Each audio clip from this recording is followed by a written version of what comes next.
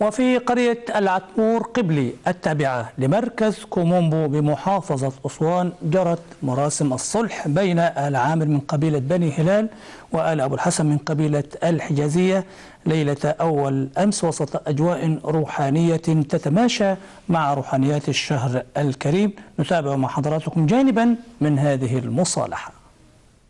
في سهرة رمضانية ووسط أجواء من روحانيات هذا الشهر الكريم جرت مراسم الصلح بين عائلة عامر من قبيلة بني هلال وعائلة أبو الحسن من قبيلة الحجازية بقرية العتمور قبلي مركز كومومبو محافظة أسوان. النهارده أسعد يوم في قرية العتمور لأن إحنا لمينا شمل والحمد لله ربنا أكرمنا بالناس الحلوة والناس الجميلة واللجان المحترمة ورجال الأمن وكل الناس اللي حوالينا.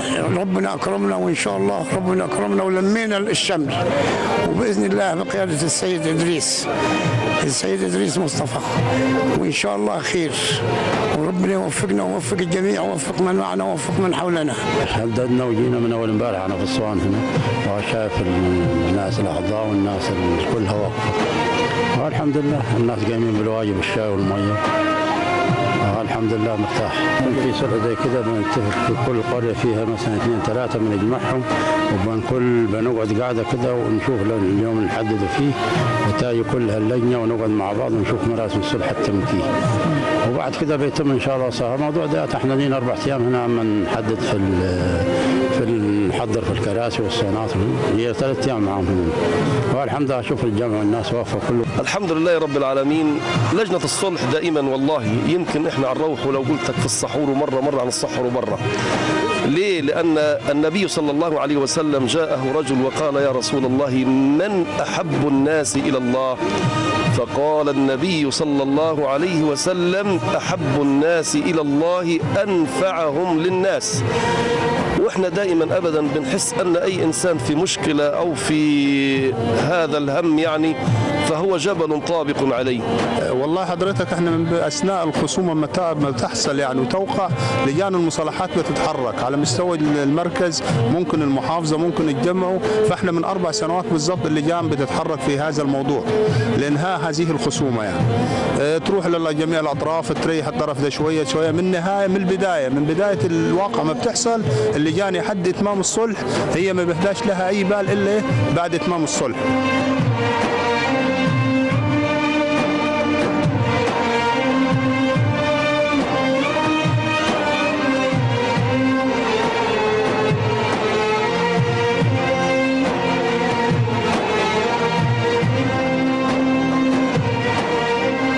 الكبير اللي زي ده لازم تتدخل فيه جميع ال- ال- ال- اللجان كلها. لجنة المصالحة في دائرة المركز عامة تمارس في ده, في ده شوية وده شوية وده شوية لحد ما ربنا يجيب السكينة من عنده تنزل علينا السكينة يتم الصلح بفضل بفضل الله ومشيئته. لجان الصلح ما بيناموش بي بي بيزعلوا. يعني لما واحد يقول لك ليه يا أخي أنت ما قلتليش؟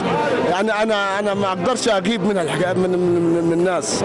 فيعني بارك الله فيهم ويشكروا والناس اللي بيسهروا ليل نهار ديلة فليهم يعني آه، جهودهم ليهم كرام عند ربنا. بالنسبة للمصالحات إحنا دايما بالنادي بنبقى في صف ثاني وصف ثالث عشان يعني الاجيال تبقى متعاقبة لأن مهمة لجنة المصالحات يعني أهم دور هو لجان المصالحات التي تخمد الفتنة آه، قبل وقوعها أو لم الفتنة بعد وقوعها. ونحن تتلمذنا يعني أنا شخصيا تتلمذت على يد آه، لجنة آه، يمكن عمنا المرحوم محمود العوني من ادفو المكان هنا مكان العطمور وأهل العطمور دول ناس متعاونين جدا كانوا معنا في إقامة الصوان ووقفة للناس واستقبال الناس فكانوا ناس متعاونين جدا معنا وبرضه في القيادات التنفيذية بتدعمنا في الموضوع ده والسيد اللواء محاول السيد اللواء مدير أمن أسوان اجتمع بينا قبل كده في أول ما جه هنا يعني. اجتمع بينا وقال أنا مكتبي مفتوح لكم في أي وقت وبيساعدنا في جميع يعني بنتصل بيه سعادته يعني أي عقبات بيذللها برضه معانا.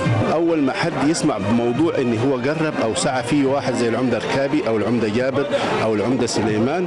أوتوماتيك كده كله بيتصل على على اعضاء اللجنة وبناء عليه بتتم الموافقات وهم اللي يحددوا الميعاد للموافقه على الصلح إن شاء الله. ومع قيادة السيد إدريس بأن هو الموضوع جهز من على الطرفين وجهزوه له.